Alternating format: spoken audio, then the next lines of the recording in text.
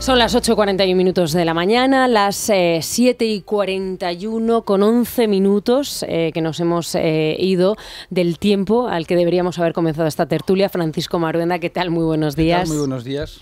Y Javier Arias Borque, también aquí, nuestro compañero de Libertad Digital. ¿Cómo estás? Buenos días y bienvenido. Muy buenos días. Y Daniel Muñoz, desde las 7 en punto de la mañana, al que ustedes están escuchando, que ya está eh, repasando y tiene todos los periódicos sobre la mesa para darnos eh, cumplida cuenta de cuáles son los eh, titulares, lo que más le llama la atención a los eh, columnistas. Bueno, pues vamos, si te parece, vamos a empezar con ese plan de ahorro energético. Los titulares de prensa hoy de algún modo reflejan la oposición que ha liderado Isabel Díaz Ayuso en torno a ese plan de ahorro energético aprobado por el gobierno. El país sale en tromba contra la presidenta regional, alienta la insumisión, leemos en portada. Hoy la razón en su editorial respalda a la presidenta de la Comunidad de Madrid, reprocha al Ejecutivo no haber hallado argumentos para criticar a Isabel Díaz Ayuso y recuerda que Moncloa es reincidente en utilizar recursos simplistas ante problemas concretos. En pandemia, por ejemplo, optó por el cierre masivo, Isabel Díaz Ayuso se opuso y a la vista están los resultados. Ignacio Camacho, en una columna que titula en ABC La factura del Falcon, recuerda, dice que Sánchez no tiene autoridad moral para exigir esfuerzos colectivos que no es capaz de reclamarse a sí mismo. Libertad Digital en su editorial se manifiesta en términos parecidos. Vamos con esos datos también del paro. Ni siquiera el diario El País hoy puede ocultar estos datos nefastos. El frenazo al empleo y la subida del paro en julio activan la incertidumbre. Eso sí, titular a dos columnas. La pasada semana recuerdo que titulaba la EPA los datos de la EPA a cuatro columnas.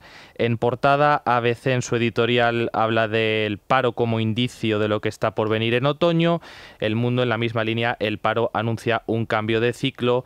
La razón, en este caso, sobre el argumentario que puso ayer sobre la mesa el gobierno sostiene que el Ejecutivo escapa de la realidad con una retórica grotesca, ¿no? Esto de Pedro Sánchez de mirar los datos del paro con otras lentes, en fin, eh, argumentos, desde luego, explicaciones bastante peregrinas. Encuesta hoy en el Confidencial, eh, cómoda mayoría absoluta entre Partido Popular y Vox, Feijó 137 escaños, Abascal 51, con PSOE ya por debajo de los 100, que es una tendencia que marcan todos los sondeos que venimos conociendo en las últimas semanas, 93 escaños, Podemos 23 y Ciudadanos desaparecería, se quedaría sin representación en el Congreso. Y terminamos con dos noticias ahora de crónica internacional sobre la muerte del líder de Al Qaeda me ha llamado poderosamente la atención el editorial que publica hoy el diario El País. Habla de una ejecución sumaria que retrotrae a la lógica de guerra sin cuartel contra el terrorismo y concluye Así lo comentábamos esta mañana fuera de micro, porque desde luego los términos a mí me sorprenden. Esta muerte confirma el trágico retroceso experimentado por los derechos humanos y la justicia internacional en las últimas décadas. Esto es lo que dice el editorialista del país sobre la muerte del líder de Al Qaeda y la fotografía de portada hoy prácticamente en todos los periódicos es para Nancy Pelosi, la presidenta del Congreso de los eh, Estados Unidos, aterrizando en la isla de Taiwán. Muchísimas gracias, eh, Daniel. Pues si os parece, vamos a empezar por esto último que nos eh, contaba Daniel Muñoz. Había mucha expectación, también había mucha especulación sobre esa visita, si finalmente se iba a producir o no se iba a producir. Así ha sido. Sigue de momento ahora mismo la tercera autoridad del país norteamericano en tierras de Taiwán y tenemos ya respuesta de China. Se lo venimos contando a nuestros oyentes desde las 7 en punto de la mañana, pero a mí eh, teniéndote aquí, me gustaría preguntarte, porque ayer hablábamos y charlábamos eh, con Florentino Portero también sobre esta cuestión y él nos explicaba, eh, bueno, que Estados Unidos, la posición siempre y no ha cambiado hasta donde nosotros sabemos, bueno, no es la misma que defiende ahora mismo mm, Nancy Pelosi. No sé si puede haber, o en esta visita podría haber un cambio de tendencia y el presidente de los Estados Unidos y Kirby y el secretario de Estado, a todos ellos los hemos escuchado diciendo que por supuesto Nancy Pelosi tiene absolutamente libertad para viajar donde a ella le apetezca. Faltaría más, pero quizá esto esté orquestado por parte del gobierno de los Estados Unidos o no. En principio, el gobierno de los Estados Unidos, eh, la Casa Blanca, se separa de esta decisión de, Nancy Pelosi de, viajar a Taiwán. Eh, hay que tener en cuenta que eh, cualquier político por muy eh, alto representante de una Cámara Institucional de Estados Unidos que pueda ser, puede tomar decisiones libremente. En Estados Unidos siempre ha habido dos, dos corrientes de actuación sobre Taiwán. Hay que recordar que Taiwán, en verdad, lo que es es eh, la isla donde se refugian todos aquellos dirigentes chinos no comunistas que pierden la guerra civil en China tras la revolución comunista. De inicio, Estados Unidos históricamente siempre había apoyado la independencia de Taiwán. De inicio estamos hablando. Esto empieza cuando China, la China comunista, se vuelca y apoya a, Corea del Norte en la guerra de Corea. En los 60 hay un cambio fundamental. Estados Unidos decide apoyar a la China comunista porque se empieza a enfrentar con la Unión Soviética ese enfrentamiento, aquello de el enemigo de tu enemigo puede ser tu amigo, mm. es lo que hace que China entre eh, en, el, en, el, Consejo de, perdón, en las Naciones Unidas y que incluso ocupe un puesto en el Consejo de Seguridad de las Naciones Unidas. Desde entonces, Estados Unidos ha venido jugando, digamos, a la equidistancia controlada, es decir, buenas relaciones con China, pero siempre reconociendo, apoyando y asesorando tanto política como militarmente a Taiwán. Es decir, en Estados Unidos siempre ha habido una línea, eh, digamos, de opinión eh, proclive a reconocer a Taiwán como la auténtica China.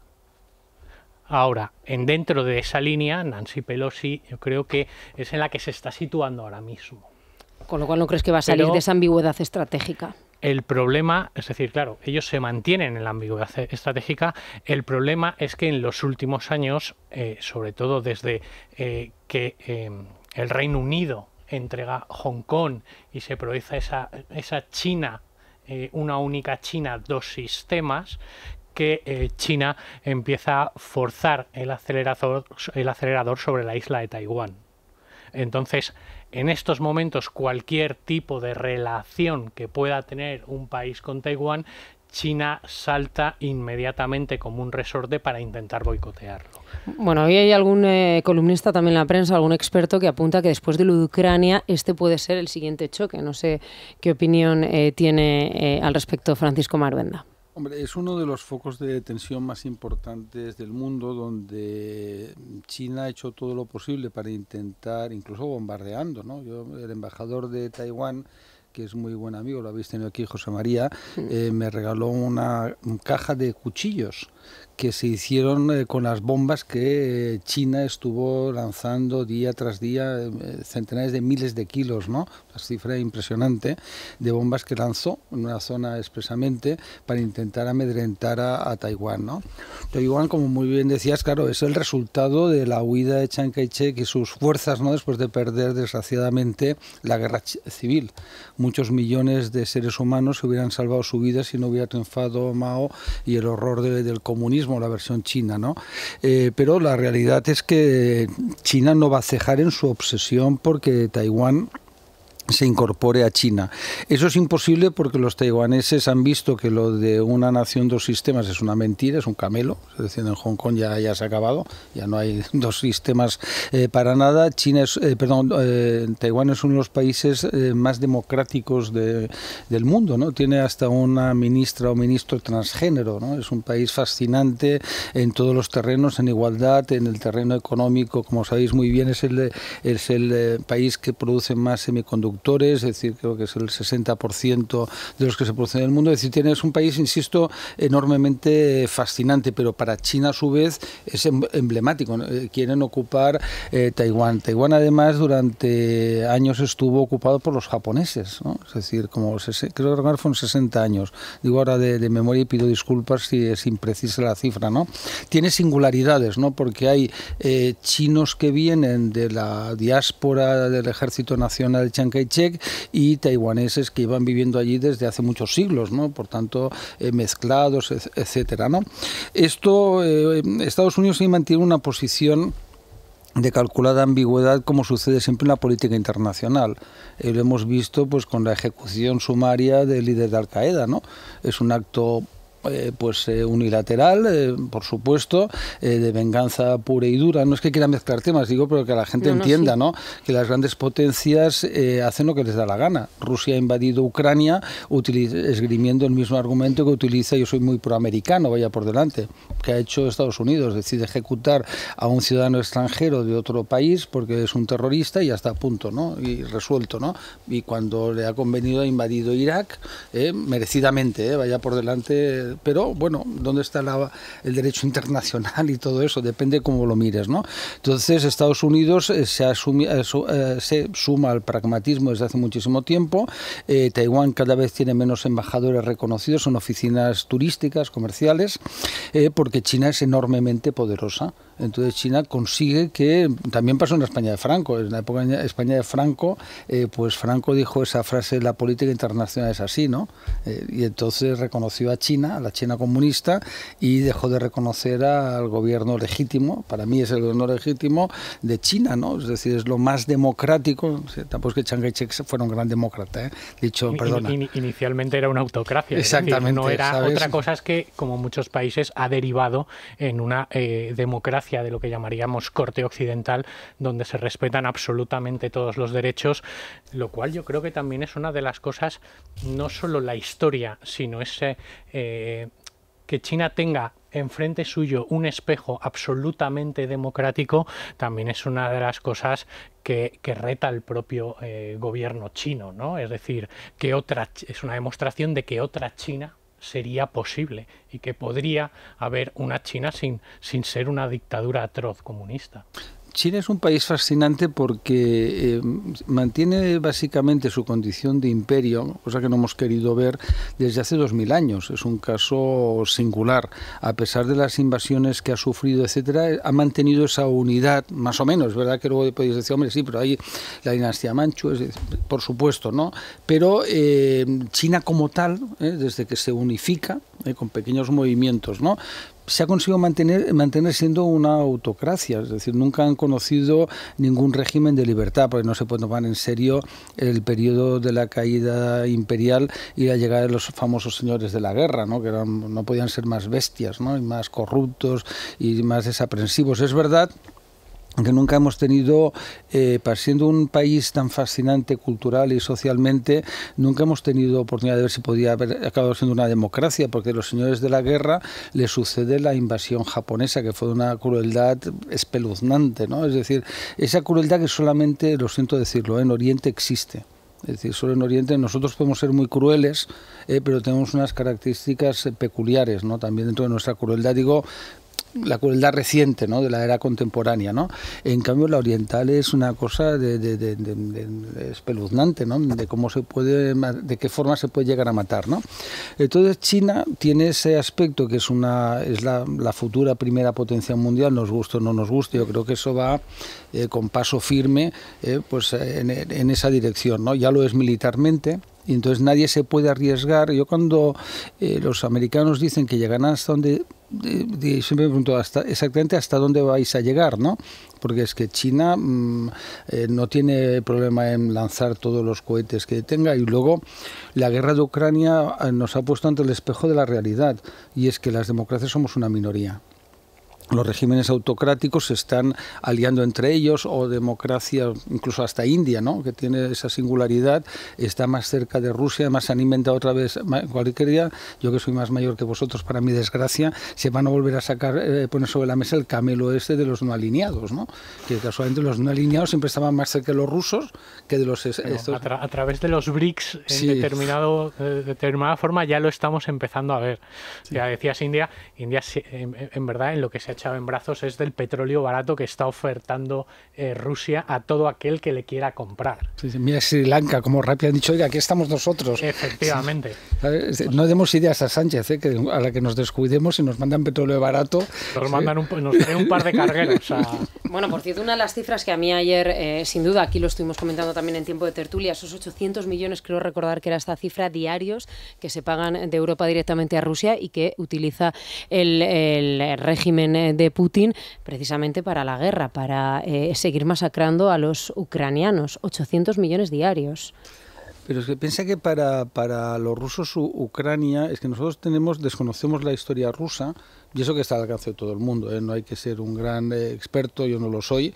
Eh, como digo siempre, ni hablo ruso, ni he vivido en Rusia, por tanto es difícil ser experto en Rusia, ¿no? Pero bueno, intento como vosotros leer y es un tema que me, que me apasiona, ¿no? Entonces, para un ruso, Ucrania es Rusia, es decir, es que no queremos entenderlo. Para ellos es algo absolutamente es que impresionante. Es decir, todo lo que sucedió durante la Segunda Guerra Mundial, durante la Guerra Civil, durante la propia revolución, inicio de la revolución, es decir, Ucrania para ellos harán lo que sea necesario y cometerán las masacres porque ya lo han hecho, es decir, no consideran no hay nada peor que una guerra civil, una guerra es espantosa, pero para ellos es una guerra civil, para el ruso lo que está pasando simplemente es dando una lección a ese Zelensky, whisky eh, digo, es en, hablo como hablarían ellos, ¿no? Eh, que es un tipo que no tiene nivel, ¿eh? esa es la mentalidad de ellos, como puede ser que un tal Zelensky sea el presidente y cómo pueden atreverse a ir en contra de, de, Rusia y además manejados por unos malvados occidentales. Es que estamos volviendo a esa retórica, encabezados por Macron, eso cuando lo digo se me echan al cuello, pero es una ironía, que va acompañado de su abuela, ¿sabes? Biden, que no puede ser más debilucho, el del pelo loco de Boris Johnson, el actor de cine Pedro Sánchez. Es decir, eso es la mentalidad rusa, ¿no? Digo, creo que pido disculpas a los oyentes, ¿eh? no lo digo en plan, no es lo que yo pienso. ¿eh? Es la mentalidad de eh, cómo cualquier país que existe actualmente y que ha formado parte de nosotros puede tomar decisiones políticas sin que tengan la aprobación de Moscú. Eso es lo que ha pasado. Así empezó el, el conflicto en Ucrania en 2014 cuando entonces el gobierno ucraniano lo único que quería firmar era un acuerdo de asociación con la Unión Europea. ¿eh? Ni siquiera se está hablando de la OTAN sino simplemente de un acuerdo de asociación para comerciar con la Unión Europea. Y ante eso saltó inmediatamente Putin porque no se puede, porque él, ellos en su, en su cosmovisión no pueden permitir ni pueden concebir que cualquier persona o sobre todo cualquier país que fue un satélite suyo o que consideren que forma parte estructural de la propia Rusia tome decisiones en libertad. Bueno, ahora mismo tenemos que hacer una brevísima pausa, pero antes un consejo imprescindible para todos aquellos mayores, mayores, de verdad, mayores especialmente de los 65, los que hayan pasado ya esa, esa barrera psicológica que es importante, que tengan una casa en propiedad y que quieran, por supuesto, vivir de manera plácida y destinando los ahorros a lo que ellos eh, buenamente quieran. ¿Cómo? Bueno, pues a través de la hipoteca senior, un producto diseñado para los mayores de 65 que te permite vivir tu jubilación soñada. Son miles las personas que gracias a este servicio que nos ofrecen en Óptima Mayores eh, gozan de tranquilidad y de libertad económica, de esa libertad que ellos eh, se merecen. Solicita tu estudio personalizado, gratuito y sin ningún compromiso en el 900 800 864 900 800 864 o también toda la información en hipotecasenior.es. Y ahora todos los beneficios que nos va a aportar Colacel. Lucía Prieto, ¿qué tal? Buenos días. Muy buenos días. Hoy os vengo a hablar de los enemigos de la piel, los temidos radicales libres. Y es que ningún radical es bueno, ni siquiera los libres. Podemos combatirlos siempre y en la piel también. La forma más efectiva de hacerlo con la Cel Antiox de Mundo Natural. Es el suplemento más potente del mercado y su secreto, que aquí conocemos bien, está en sus péptidos bioactivos de colágeno, antioxidantes como el resveratrol o el estrato de granada y la vitamina C que ayuda a que seamos nosotros los que fabriquemos el colágeno que necesitamos para luchar contra estos mm, temidos radicales que provocan envejecimiento prematuro y también descolgamiento. El resultado, eficiencia contra el estrés oxidativo, dejando cao a los radicales libres. Pregunten a su dietista y farmacéutico por Golacelantios de Mundo Natural. También pueden llamar al 91 446 0000 o consultar en la web www.parafarmaciamundonatural.es. Mundo Natural. Tres minutos pasan de las nueve de la mañana, son las ocho y tres eh, minutos en las Islas Canarias y en este momento ya en conversación con Naya Pertusa. Naya, cuéntanos las novedades del corte inglés, a ver. Pues mira, es el último día, Sara, último día de Electro 3 en el corte inglés, 15% de descuento adicional en las mejores marcas de electrónica como Samsung, Xiaomi, HP, Huawei, Panasonic, LG y también en electrodomésticos, 15% de descuento adicional en marcas como Samsung, Balay, Teca, Lieber, Dyson, Babyliss, Philips. Para un, móvil, para el televisor, el frigorífico que se ha estropeado, todas estas cosas. Los tecnoprecios además eh, son más ventajas a estos Electro 3, es decir, además del, 15% de descuento adicional, tienes las, las facilidades de los tecnoprecios del corte inglés. Y además, hoy también un 30% de descuento en una selección de productos de Bricor. Todo esto en la tienda, en la web y también en la aplicación del corte inglés. Pues muchísimas gracias, Naya. Un abrazo. Bueno, 9 y 9 minutos de la mañana, el eh, tiempo, eh, bueno, sigue siendo un tiempo muy caluroso. No sé si en vuestra zona, si estáis todos en Madrid, que entiendo que estáis todos ahora mismo en Madrid, llovió o no llovió, depende de la zona, cayó la del pulpo en algunas... A mí me cayó la del pulpo. A mí no. y yo, ansiaba, ansiaba ese momento de lluvia y de respiro, de respiro de esas temperaturas tan altas que estamos padeciendo en prácticamente toda España, también hay que decirlo. Aquí en Madrid no somos una isla. En el norte hoy van a tener cierto respiro también, porque ahí hay probabilidad de lluvias en esta jornada. 38 provincias hoy en alerta por esas altas temperaturas. En Madrid ahora mismo 26 grados y alcanzaremos eh, los 38, eh, camino de los 42 van en eh, Córdoba y en Vitoria pueden descansar plácidamente porque allí van a registrar, registran la mínima hoy con 17 grados. Bueno, ya tenemos aquí sentado a Luis Fernando Quintero. ¿Qué tal? Buenos días de nuevo. ¿Qué tal, Sara? Buenos días. Que nos va a comentar ahora mismo la apertura de la bolsa en este miércoles. Sí, el IBEX 35 eh, Sara, que continúa con cautelas, eh, amanece dejándose un ligero 0,16%, cotiza prácticamente plano, eso sí, unas décimas en negativo, suficiente para no poder mantener ese nivel de los 8.100 puntos que parecía que quería mantener en el día de ayer. Como te digo, pierde ese nivel, 8.078 puntos según nos muestran las pantallas de Infobol insisto, con la cautela debido a esa eh, incertidumbre que tenemos encima de la mesa, también debido en parte a eh, esa bajada en el nivel de negociación, precisamente por el mes en el que nos encontramos y eh, por ese escenario de posible recesión que tenemos en nuestro país, aparte de las tensiones internacionales que no animan a los inversores a aventurarse a algunas aventuras inciertas. Inhóspitas. Bueno, ahora sí que vamos a hacer nosotros y vamos a animar a nuestros oyentes eh, con Lonfai. Eso es, eh, Sara, porque eh, Gedesco, que siempre está pensando en empresas en particulares, en cómo poder ayudarles a sortear estas situaciones de dificultad que tenemos y las que se nos avecinan también, bueno, pues tiene una aplicación fantástica que se llama Lunfai y que es una solución de anticipos de nómina que permite a los empleados aumentar su flexibilidad de cobro y por otro lado a las empresas mejorar la capacidad de atraer y retener el talento en función de que precisamente ofrece esta flexibilidad a sus empleados. A través de una eh, aplicación de móvil muy, muy sencilla, el empleado puede solicitar en un clic el importe que quiere adelantar en su nómina, la que ha generado hasta ese momento, y hacerlo además de una manera instantánea y sin que, sin que para la empresa suponga un eh, problema. Así que, como digo, Lunfai de Gedesco buscando soluciones para todos. Bueno, te seguimos leyendo en el libre mercado. Muchísimas Gracias, Luis Fernando. Gracias a vosotros.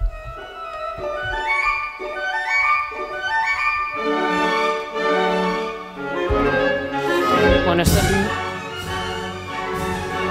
Iba a estropear el mítico ballet, el ballet por excelencia, ese gran eh, momento del lago de los cisnes. Verónica Caso, bienvenida. Pues eh, hablamos de la noticia interés cultural de la 11 de danza, porque como bien has dicho, eh, llega el lago de los cisnes a Madrid de la mano del ballet clásico de Ucrania. Hasta el domingo, el Gran Teatro CaixaBank acoge esta fábula romántica. Me estaba diciendo Belén, oye, ¿hay entradas? Pues sí, así que, aprovechemos esta semana para, acudir a ver esta gran fábula romántica. Pues muchísimas gracias, Verónica. Hasta luego. Bueno, pues llegamos a las 9 y cuarto de la mañana, una hora menos en las Islas eh, Canarias y en conversación ya estamos con Paloma Martín, con la consejera de Medio Ambiente, de Vivienda y de Agricultura de la Comunidad de Madrid. Eh, eh, Paloma, ¿qué tal? Muy buenos días. Buenos días, encantado de estar con ustedes. Bueno, igualmente le agradecemos enormemente que atienda nuestra llamada, además en un día como hoy y después de todo lo que despertó ayer su presidenta, que lo teníamos bastante claro aquí en esta mesa, que nos iba a quedar de brazos cruzados. Eh, fue la primera en reaccionar, lo estábamos comentando ahora mismo fuera de micro, vía Twitter a esas eh, medidas, a ese paquete aprobado en Consejo de Ministros y también rápidamente contestaron desde el Gobierno recordándole bueno, que ese paquete de medidas es un decreto ley, por tanto que es de obligado cumplimiento. Escuchábamos eh, también en el día de ayer las explicaciones de Enrique Osorio, que esto ni mucho menos es un desacato a la ley, que ustedes lo que no van a aplicar es todo aquello que es competencia exclusiva de la comunidad y que crean, eh, bueno, que pueda generar inseguridad o bien espantar el turismo. El comercio es competencia exclusiva de la comunidad, con lo cual entendemos que los escaparates de la Gran Vía, por poner un ejemplo, algo bastante simbólico aquí en la capital, podrán seguir encendidos más allá de las 10 de la mañana. Las competencias eh, en materia de comercio las tenemos las comunidades autónomas, las competencias de energía las tiene el Gobierno de España y lo que estamos haciendo es los servicios jurídicos analizar este Real Decreto Ley. Pero lo más preocupante es que estas medidas eh, van a perjudicar la actividad económica de los comerciantes, del turismo, del ocio que se produce no solo en Madrid, sino en muchos lugares de España. Y nuestra preocupación añadida es que ninguna de las medidas que están recogidas en este Real Decreto están dirigidas a bajar el precio de la luz que pagamos todos y cada uno de los españoles. Y eso es lo verdaderamente grave, porque en España no tenemos un problema de suministro energético, tenemos un problema de precio y por lo tanto el Gobierno debiera tomar aquellas medidas que contribuyen a bajar el recibo de la luz. Bueno, me gustaría que escuchara ahora un sonido de esa rueda de prensa que ofrecían los ministros, concretamente el de la ministra y vicepresidenta tercera, ministra de Transición Energética, cuando le preguntaban expresamente uno de los periodistas que asistía a esa rueda de prensa por la posibilidad, como anticipándose a lo que minutos después iba a contestar Isabel Díaz Ayuso, si alguna comunidad autónoma se iba a revelar ante este paquete de medidas. Esto era lo que decía Teresa Rivera. Y por ahora lo que hemos observado en la respuesta de los eh, consejeros responsables de energía, a los que planteamos la necesidad de impulsar paquetes, planes de ahorro y eficiencia energética en su ámbito competencial, tanto por carta como el pasado jueves en conferencia sectorial, ha sido una respuesta positiva. Bueno, es cierto, consensuaron con ustedes las medidas. No hubo consenso, simplemente hubo una remisión de carta con un plan que querían que aplicáramos las comunidades autónomas, cuando las comunidades autónomas ya venimos aplicando de forma ordinaria estos planes de eficiencia energética. En concreto, en la Comunidad de Madrid, desde el año 2017 contamos con un plan de eficiencia energética para los edificios públicos, en los que ya se ha invertido más de 140 millones de euros, con 3.000 actuaciones concretas. está claro que toda la sociedad en su conjunto, la administración en particular, la industria, el comercio, vienen aplicando medidas orientadas a disminuir el consumo de la luz. Lo que no puede haber es una imposición, una obligación que muchas veces obedece más a criterios ideológicos que a la racionalidad. Porque fíjese que la reducción que pretenden ahora del consumo en el comercio y en los edificios públicos, en realidad tan solo consume el 13% del gas que se consume en España. Por lo tanto, es una medida parcial, una medida acotada a un ámbito determinado que lo que va a perjudicar es la actividad económica. Por eso preguntamos, ¿qué impacto va a tener esas medidas? ¿Se ha medido ese impacto? Se ha calculado cómo en términos de empleo va también a afectar, porque ya ayer conocimos algunos resultados y era del paro. Subía el paro en toda España y era la primera vez que bajaba la afiliación en el mes de julio en España. Si se para la actividad económica, se destruye el empleo y tiene una consecuencia directa en las familias españolas. Bueno, a la vicepresidenta tercera del Gobierno, de hecho, usted le mandó una carta el pasado 8 de julio donde le proponía bueno, algunas de las eh, reformas eh, de más eh, calado que las emprendidas por el Ejecutivo hasta la fecha, digamos, no se conocía este paquete de medidas. Citaba usted en esa misiva que tengo ahora mismo otros países como Alemania con rebajas o también Polonia reduciendo esa fiscalidad en el IRPF o en el otro bando también de países europeos, el que lidera en este caso Francia, que considera que la energía nuclear es ahora mismo la solución. Eh, bueno, de hecho se va a alargar la vida allí de los, eh, las centrales que ya están vigentes y también se ha anunciado se van a construir 14 eh, nuevos reactores.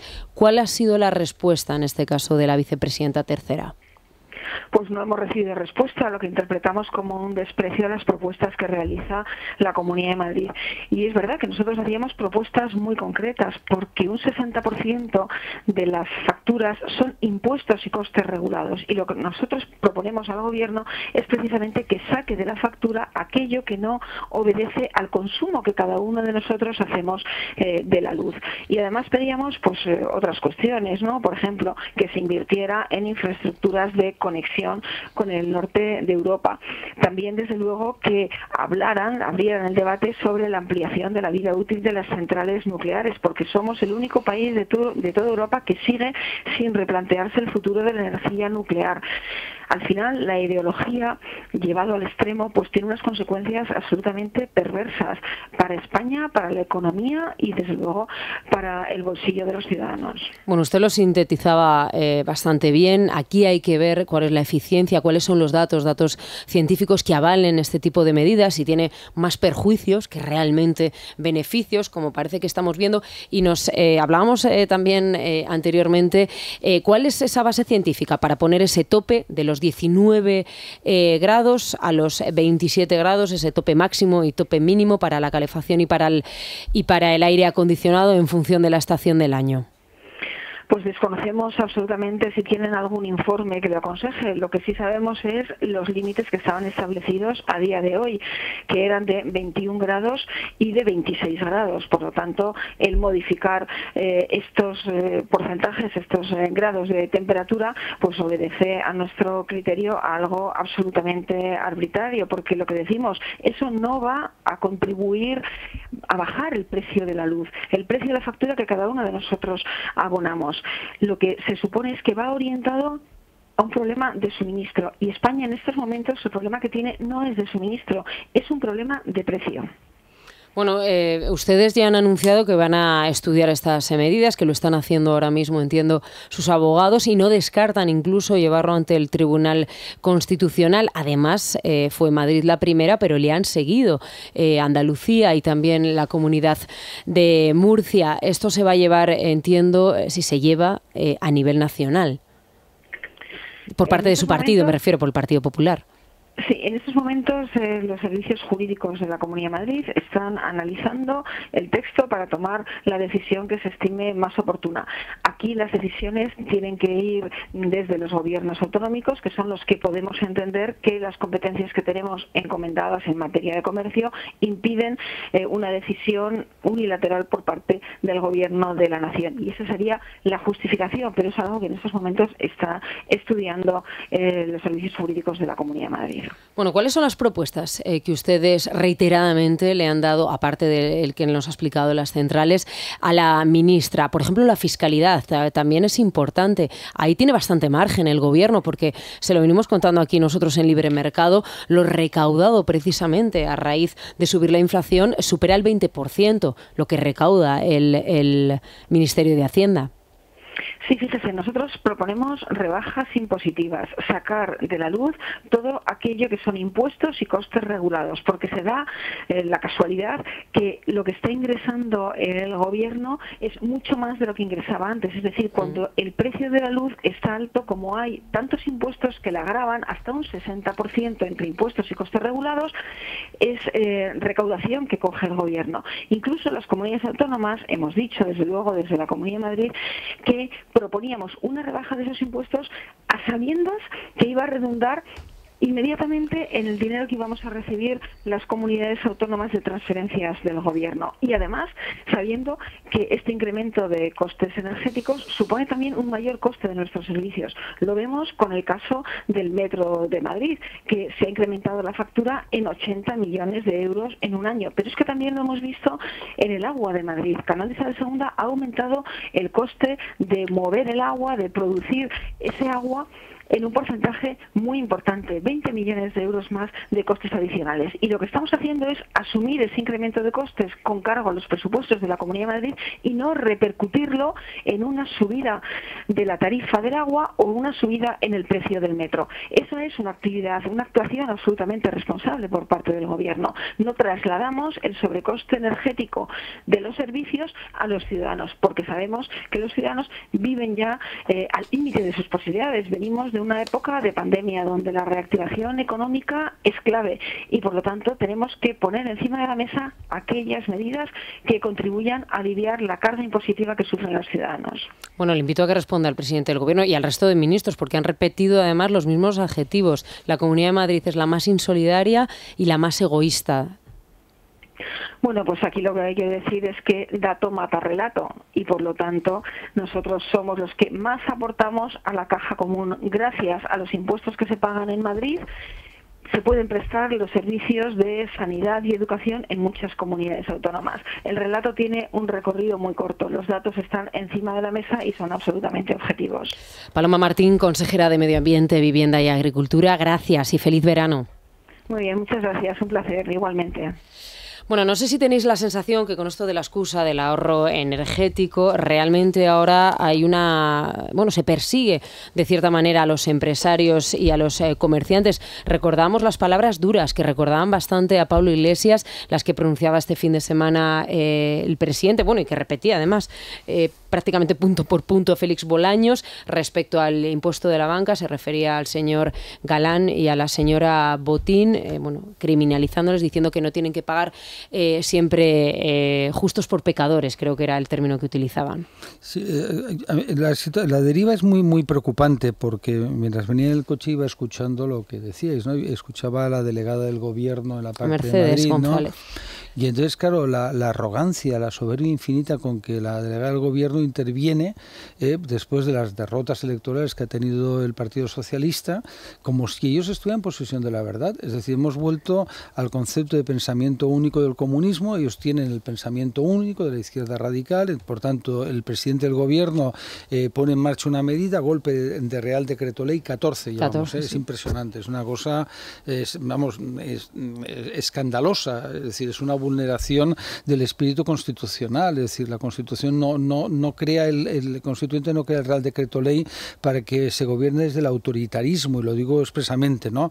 Hemos creado una nueva figura que, vamos, que a mí me interesa muchísimo, que es el autoritarismo democrático, ¿eh? es decir, de forma autoritaria, utilizando los mecanismos de una democracia, eh, pues se imponen a la mayoría o una parte de la sociedad los deseos del presidente del gobierno. Entonces el presidente del gobierno eh, decide hacer estas medidas energéticas y quien va en contra de ellas es insolidario, egoísta, es eh, todo lo que a él le dé la, gana y todos los corifeos que le rodean salen ahí bumba, bumba, bumba, bumba, ¿no? El mismo día pues que no podemos mandar tanques Leopard porque se ve que no funcionan o que no o que son más peligrosos para los ucranianos que para los rusos, ¿no? Eso que en cualquier país del mundo sería un escandalazo, ¿no? oiga, pero perdón, a ver, me dice usted que tenemos tanques que no sirven para nada que son chatarra. Bueno, pero ¿qué está pasando aquí, no? Sirven pues ya para canibalizar piezas, ¿eh? Sí, sí, claro, es que es una es impresionante, ¿no? El concepto, vamos a canibalizar piezas, diga, perdón. Entonces, el ataque contra la presidenta, a mí yo lo que he hecho a faltar, sinceramente, y no yo apoyo mucho a Feijó, ¿no? Eh, que los el resto de presidentes salgan en tromba y los presidentes regionales digan, oiga, mire, esta idea que tiene Sánchez de que a las, eh, no sé qué hora de la noche ya esté todo oscuro a las 10, ¿no? Esto te recuerda, ayer un amigo me comentaba su experiencia cuando fue a Bulgaria, a Rumanía, no me acuerdo qué país me dijo, en los años 60 eh, sí, el, mayorcete, ¿no? Esa imagen que había de oscuridad absoluta, ¿no? ¿Sabes?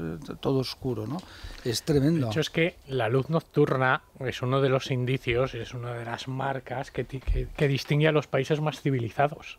Es decir, si ves una imagen del globo eh, de noche, o sea, cuando toca la noche en cada, en, cada zona, eh, los países más desarrollados son los más iluminados. ¿Puedes imaginar la gran vía a oscuras a las 10 de la noche, en pleno mes de agosto? Eh, nos hemos planteado las posibilidades de que aumente la delincuencia por esa oscuridad. Es más, e incluso que esto suponga un hándicap para el propio gobierno, porque claro, a más oscuridad, más posibilidad de que no solo de delincuencia normal, sino de que se ataque, por ejemplo, en segmento a más mujeres. ¿Cómo va a ir, cómo va a aceptar eso un ministerio de igualdad? que se supone que te está explicando que la gran prioridad del gobierno tiene que ser proteger a las mujeres. Y sin embargo, tú estás creando con el desuso de la energía que tienes a tu disposición eh, espacios donde se puede violentar de una forma más fácil a las mujeres. Pero es escandaloso que, que, un gobierno en el marco de la Unión Europea adopte medidas sin que sepamos exactamente por qué las adopta, qué consecuencias económicas tiene. Ayer una persona me pregunta, dice, oye, pero ¿esto qué coste tiene para los comercios el tener que apagar la luz? ¿Qué ahorro? Digo, mira, es que nadie sabe nada es que este buen hombre se ha levantado, eh, ha dicho que va a hacer un impuesto a la banca y a las eléctricas porque le suena bien y porque algún país lo ha hecho, pero aquí trasladamos, importamos lo que nos interesa de cada país, ¿no? ¿Sabes? Como si fuera... Esto al parecer está copiado de Italia, realmente, las temperaturas, bueno, más o menos el plan. ¿Sabes? Pero no, no, cogemos, ¿sabes? De, de, Italia esto, de Hungría no sé qué, de, es decir, no coge todo el paquete, cada país, ¿no? Tienes que, que hacerlo, ¿no? Luego decide los grados lo hablábamos antes, pues yo no sé. No yo decía esta mañana que, da la sensación de que ya lo hemos vivido, lo vivimos con la cogobernanza esa famosa, ¿no? Que también al final era cierre sistemático, cierre porque sí en todas las comunidades autónomas. En la comunidad autónoma que tenía una incidencia de 200.000, como la incidencia del pueblo pequeñito, que en fin, que no había ningún caso de virus. Y esto a mí se me asemeja bastante. hay que tomar decisiones y entonces toma lo primero que se le ocurre. Y además, eh, si no eh, ante la ante el hecho de que está tomando las primeras medidas que se le ocurre, te crea todo un manto de opinión pública con la que intenta que ni siquiera eh, puedas abrir un debate sobre si lo que se está decidiendo es correcto mm. o no. Eh, ahí hay una cuestión que, trasladándome a la economía, pero que sirve para lo mismo, y es eh, la diferencia entre presupuestos y ejecución presupuestaria. Si nosotros nos sentamos en los presupuestos, pero no sabemos la ejecución presupuestaria, que acostumbra a ser muy diferente, y tú dices que vas a conseguir mil millones en impuestos y luego recaudas 500 y no pasa nada. Y que solo te vas a gastar X y luego efectivamente. Claro, y entonces aquí pasa lo mismo, él decide, pues eso, ¿no? Dice, oye, no, voy a hacer esta medida y lo normal sería dentro de un año decir, oye, mire, usted aprobó, pero resulta que usted tiene que dimitir. Eh, tiene que, si tuviéramos, ¿sabes eso? Puede decir, oye, mire, usted tiene que dimitir porque es que mintió. Es decir, no se ha cumplido nada de lo que usted en el presupuesto, ya sé que es una caricatura lo que hago y que no sucede, etcétera, ¿no? Porque en España el mentir sale... Mira, yo he descubierto que los españoles, cosa que me sorprende, el país que se levantó contra los franceses en la guerra de independencia, etcétera, nos hemos convertido en un país de borregos, ¿no? Es decir, el gobierno dice, oiga, usted no puede salir de casa y la gente se queda en casa. Dice, oiga, perdón, un momento, usted me, va a decir a mí que no puedo salir de casa, pero ¿por qué no puedo salir de casa? Usted dígame que mantenga la distancia, que lleve mascarilla, pero que yo no puedo salir a pasear cuando me pase por las narices con mi perro? No, no, no, usted no puede salir a pasear, ¿no? Y ahora nos dicen, oiga, y usted tendrá que apagar y encender la luz y el aire acondicionado y, la gente lo va a hacer. El lugar dice, oiga, mire, ¿sabe qué le digo? Insumisión, porque eso que dice Sánchez de la ley, estaba muy bien lo que contabas esta mañana, la ley... Eh, Siempre se acata en España. Sí, pues oiga, va a ser que no, ni los vascos la acatan cuando no, bueno, los nacionalistas vascos, porque vascos son todos, ¿no? Ni los nacionalistas catalanes, no la, no la acatan cuando no les da la gana y no pasa nada. Bueno, ni, algunos dirigentes del PSOE cuando tampoco les da la gana. Acabamos de tener una sentencia sí, en Andalucía y ahí no estaban acatando la ley ni lo que marca la ley. Bueno, ya tenemos eh, incorporado a nuestra mesa de tertulia Javier Santos, que tiene seguro ya una ristra de mensajes de nuestros oyentes. A ver, ¿de qué han hablado hoy? Pues hoy los oyentes nos muestran en sus mensajes su apoyo a los cuerpos y fuerzas de seguridad del Estado ante un gobierno al que critican por poner el foco, nunca mejor dicho, en el horario de la luz. Hoy dirigen sus mensajes de apoyo hacia Ayuso y le echan en cara a Sánchez que presuma de cumplir la ley en España con la que está cayendo en Cataluña y le recuerdan también a Sánchez algo sobre Argelia que tendremos que escuchar tras la pausa.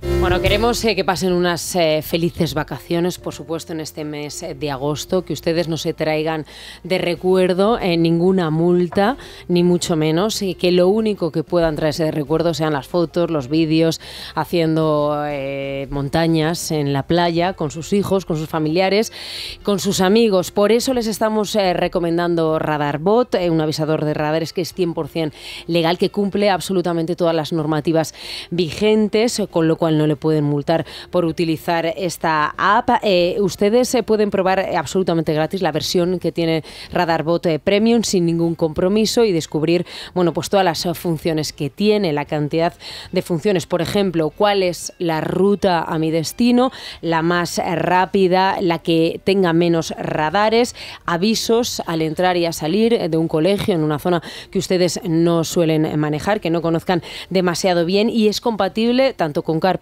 como con Android, Android Auto.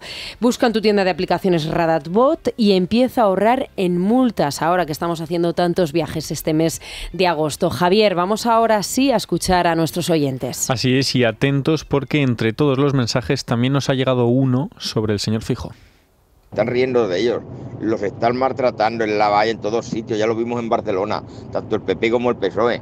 ¿Por qué no se plantan ni hacen huelga? Y repito que a lo mejor eh, lo desconozco y a lo mejor no, no pueden o cualquier cosa, pero yo creo que sería lo suyo plantarse ya porque se están riendo de ellos. El gobierno que no defiende la integridad territorial, sus fronteras, que no trata con igualdad la fuerza de orden público y dentro de esta ruina económica pone el foco en el horario de la luz, creo que es que no debe de seguir. La pena es que lo que hace Isabel Ayuso es lo que debería hacer Freijóo, que cada vez más recuerda a Rajoy. Es como un suflé que se ha desinflado. Este gobierno lo que quiere es empobrecernos para mantenerse en el poder, tipo Argentina o tipo Venezuela, y le, y le importa un bledo la economía, es más, quiere destrozarla. Y una de las maneras es esa. O sea que apoyo total a Isabel Díaz Ayuso. El delincuente floreado que preside el gobierno le dice a Ayuso que la ley está para cumplirla. Imagino que en Cataluña también estará para cumplir la ley y las sentencias eh, judiciales. Señor Sánchez, don Pedro, ¿se puede usted poner los lentes que quiera o ponerse los prismáticos del revés para verlo más lejos. Pero los datos del paro son los peores en 20 años. Así de claro. Y nadie le recuerda a Sanchinflas que estamos metida de hoz y coz en una crisis con Argelia que nos podía haber salvado el tipo por su culpa? Bueno, correcto. Este último análisis de uno de nuestros oyentes. Antes y brevemente, porque tenemos eh, que respetar los tiempos, eh, quería preguntaros por otra de las cuestiones que planteaban nuestros oyentes, los datos eh, del paro nefastos que hemos tenido y no hay ni lentes, decía yo esta mañana, ni tampoco maquillaje ya para poder opacarlos. Bueno, yo creo que los datos del paro están confirmando lo que era previsible. La tendencia. Yo, la verdad, el, el, optimismo gubernamental me parece una frivolidad ilimitada. Vamos, desde el primer momento hemos cogido tres crisis sucesivas, que eso en la historia de la economía eh, yo no recuerdo ningún caso igual. La crisis de la subprime, la crisis de deuda soberana que se llama, la crisis pandémica y ahora esta crisis inflacionaria que puede derivar en lo que sea. ¿no? Es decir, en estos momentos eh, nadie sabe exactamente en qué puede acabar, ¿no? Pues el mercado de trabajo se está resintiendo. Es decir, hay una fuerte incertidumbre, eh, la presión inflacionista es espectacular, es decir, los que tenemos más edad, pues hemos vivido lo que es una inflación. Efectivamente, no se produce un efecto como en Argentina o en otros países y se puede controlar la inflación porque estamos en el marco de la Unión Europea y arrastraríamos al conjunto, ¿no? Porque tenemos nuestra moneda es el euro. Pero imagínate que tuviéramos una peseta, dicho con todo el cariño la peseta. Esto sería impresionante. ¿No?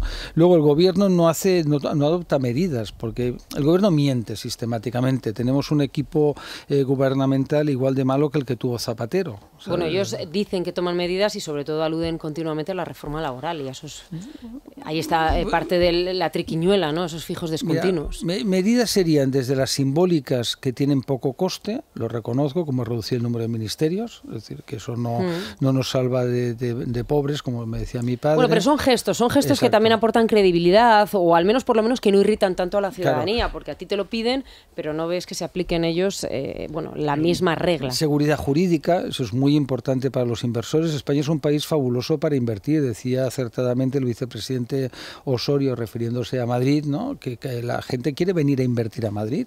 Es decir, les gusta y, a mi tierra les gustaba ir a invertir a Cataluña hasta que los nacionalistas empezaron a destrozar todo. Es decir, ¿dónde, dónde mejor que invertir que en España? Que hay muy buen clima, que la gente está preparada, que es agradable, que se come bien, perdón por la fría, se come bien, es decir, se vive bien. Es atractivo, atractivo. ¿no? Estos datos lo que supone es, eh, digamos, que evitan que el gobierno eh, pueda seguir vendiendo que la situación económica de España va bien y que lo único que la está lastrando es la guerra de Rusia. Hay que recordar, si nos vamos a los mismos datos que se estaban dando en este programa hace un año sobre la inflación, ya se hablaba de que la inflación estaba alta. El gobierno ha hecho una cosa muy bien, que es convencer a parte de la opinión pública, ya una inmensa mayoría de los periodistas, que hay que decirlo, somos una profesión de izquierdas, mayoritariamente izquierdas, de que todo el gran problema económico al que nos estamos eh, al que nos estamos enfrentando y nos vamos a enfrentar es culpa de la guerra de Ucrania y de Rusia, pero no es cierto. Nosotros venimos con problemas heredados del pasado. Insisto, es que hace un año la inflación ya empezaba a ser un problema. El precio de la luz, el ejemplo también. ni siquiera había atisbo de que Rusia fuera a invadir a Ucrania. El gobierno lo está sabiendo hacer muy bien en el, a la hora de crear esa, eh, ese cuento, relato, ese relato, sobre que ellos eh, no son los culpables. Estos datos nos confirman que España y, como buena parte de Europa va a tener un problema y nos vamos a enfrentar a un problema económico en meses.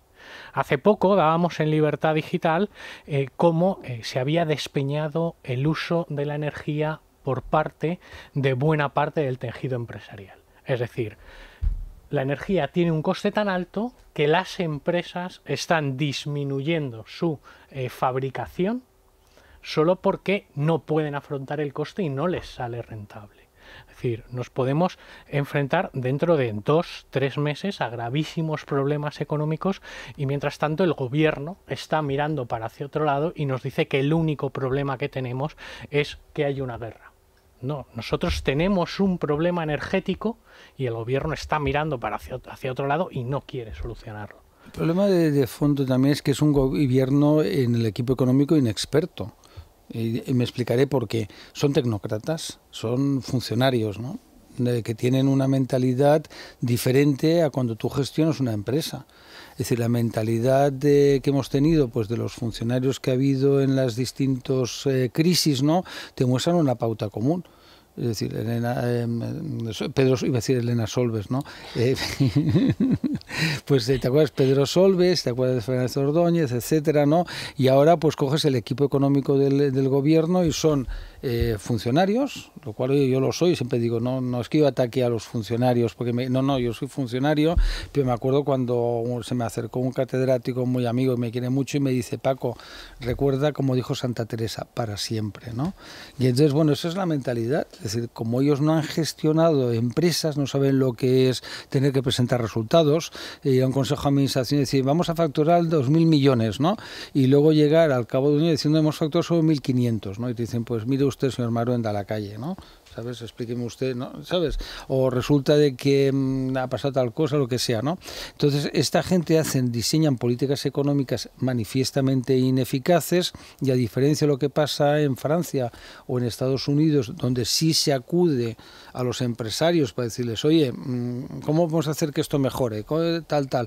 Aquí, pues no, en Estados Unidos tú eres presidente de una multinacional. Mira, para que os hagáis la idea, una persona como Ana Botín, o el señor Galán de, Iberdrola, el presidente de Estados Unidos les llamaría para ser ministros.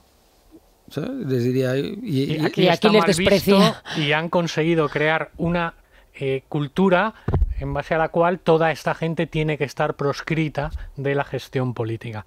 O sea, a mí realmente me parece tremendo. Es decir, no estamos haciendo un gobierno, gobiernos con los mejores, no estamos haciendo gobiernos con especialistas en las materias que tienen que gestionar, estamos creando gobiernos en función de las cuotas de poder de determinados partidos políticos.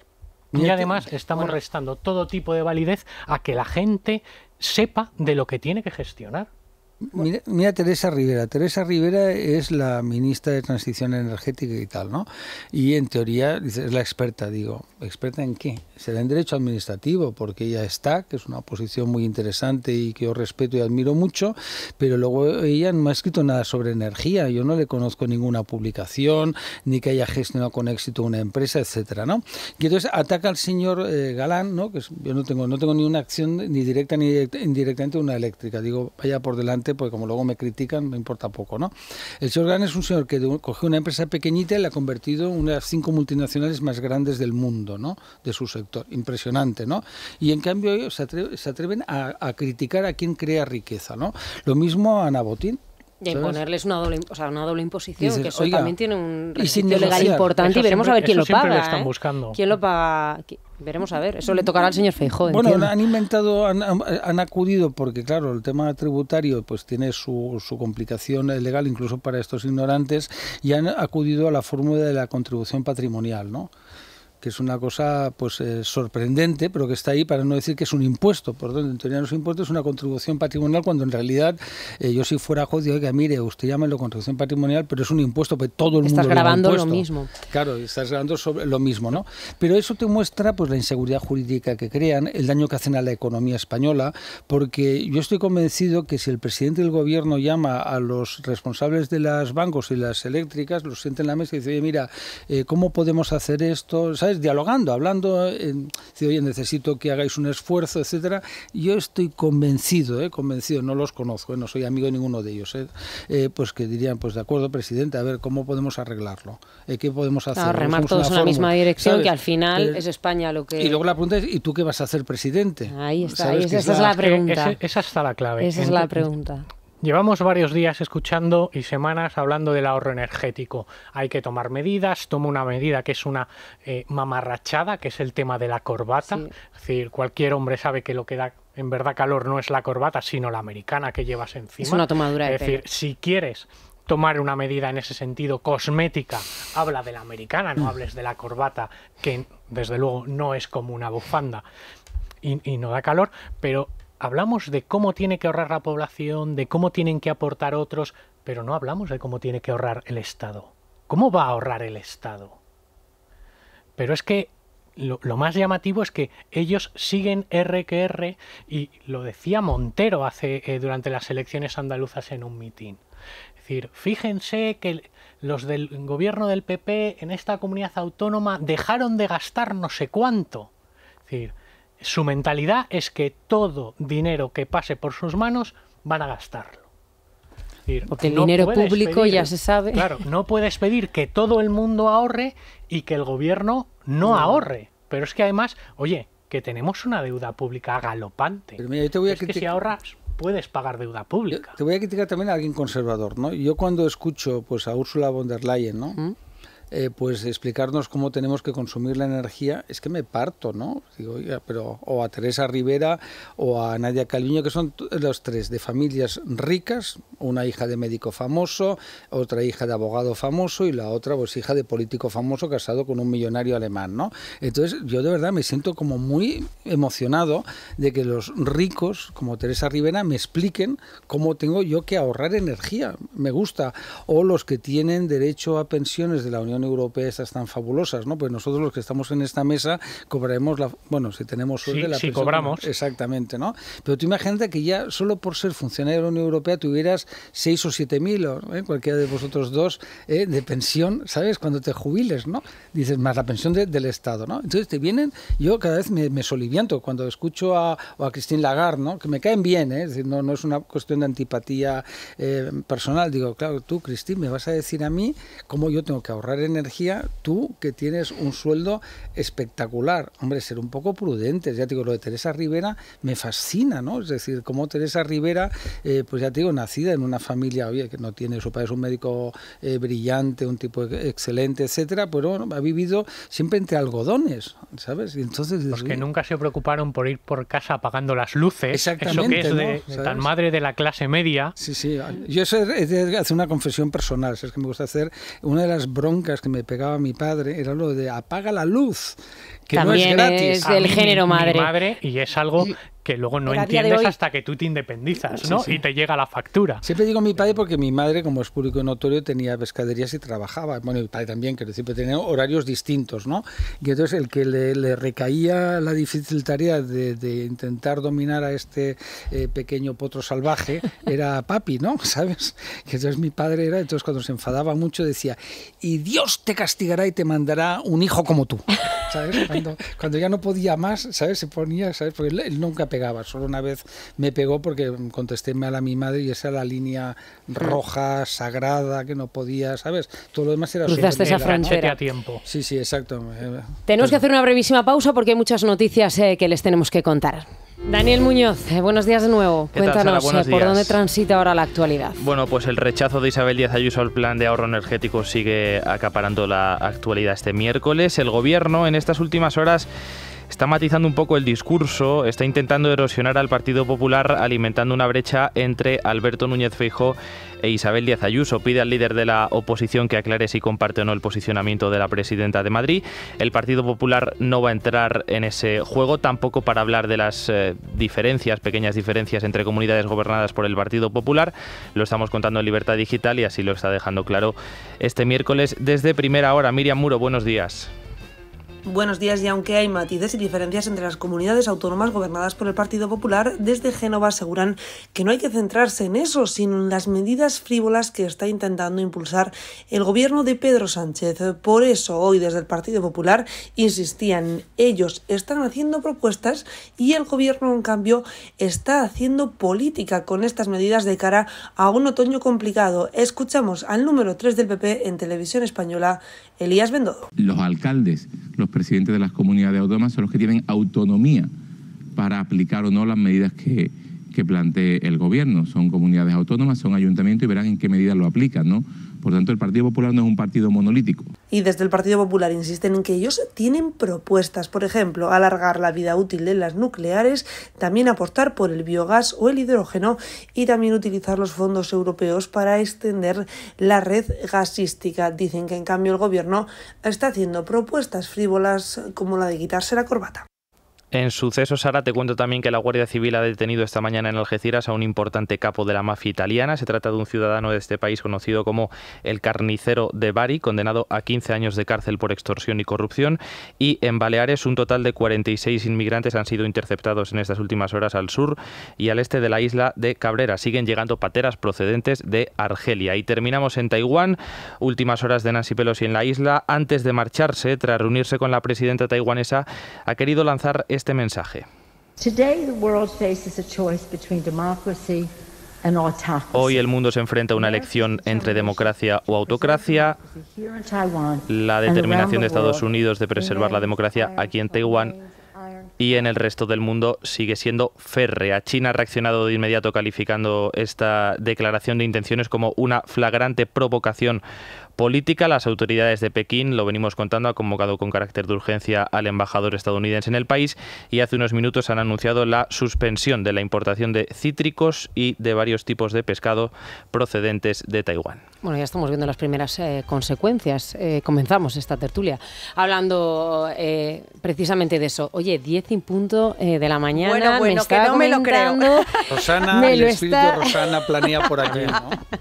Hombre, es que son muchos años con ellas y que al final Es todo se pega, todo Ahora se que no pega. nos oye. Por supuesto, por supuesto. Que nunca La le veremos los pelos. La mandamos un abrazo. Yo no he tenido oportunidad en estos Nadie. 12 años ya que la conozco de, de verla. Federico sí, Federico sí. ¿Sí? Sí que la ha visto, sí, con el pelo rizado, ¿te refieres? Sí, pero dice Federico que no. Sí. Ah, ahora cuando Sí, en una hermano- ocasión, en una Ah. ocasión. Y no Sí. lo soñó, seguro que es real. Seguro que está tan guapa como con el pelo recogido. Efectivamente, el problema Siempre es que no, no recogió, no le hizo la fotografía. ¿eh? bueno, Jessica Sánchez, cuéntanos, a ver, ¿por dónde va la crónica rosa de hoy? Muy buenos días. Bueno, ya sabes, miércoles, día de revistas, viene cargadita y calentita. Haciendo resumen, que no me quiero hacer spoiler a mí misma y lo que quiero es que los oyentes continúen con nosotros en las próximas dos horas. Tenemos un montón de contenidos en las revistas. eh, tenemos, sobre todo, muchos supervivientes. eh, bueno, pues eh, era lo esperable, ¿no? A la vuelta de la isla, que todo el mundo quisiera saber lo que, lo que nos cuentan. Los Por un lado tenemos en lecturas ¿no? Los todo. trapos sucios. Bueno, unos sucios, otros limpios, otros llenos de amor. Mm, Pero hay- los sucios hay siempre atraen cosas. más. Por ejemplo, tenemos a Anabel Pantoja y a Alejandro Nieto en lecturas y a Nacho Palau en exclusiva en 10 minutos.